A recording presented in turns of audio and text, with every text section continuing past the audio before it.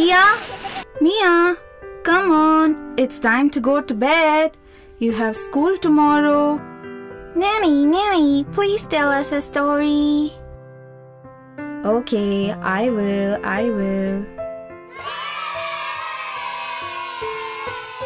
The Elephant and the Ant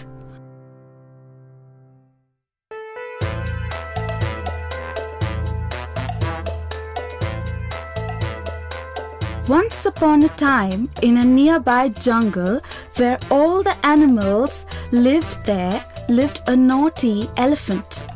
His name was Jumbo.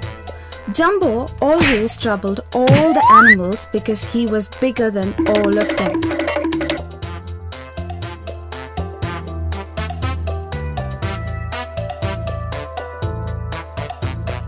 In the same jungle, there lived a family of ants.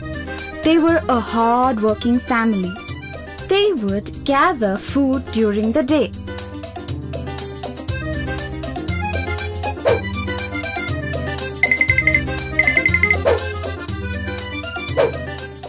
On one such day, while they were gathering food, Jumbo splashed water at them. The ant said, Please don't throw water on us. We are making great effort to collect food. The Jumbo said, I will do what I want. You are so tiny, you can't do anything to me.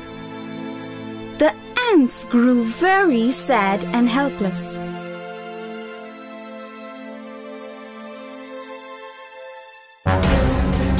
One day, when the hunter had come into the jungle, Jumbo was trapped in a giant net. The hunter focused his gun at Jumbo.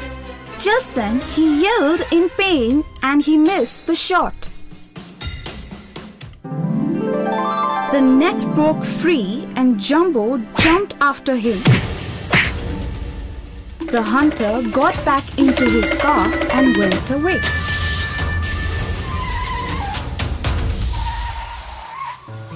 Jumbo looked down at the ants and said, Thank you, ants. If you had not bitten the hunter, I would have died. I will never trouble anyone anymore. I understand that even a small ant can do great things that I cannot do. The ant said, Never underestimate anyone. Then on, Jumbo helped the ants gather food and they became great friends and happily coexisted in the jungle. Even the other animals lived happily ever after.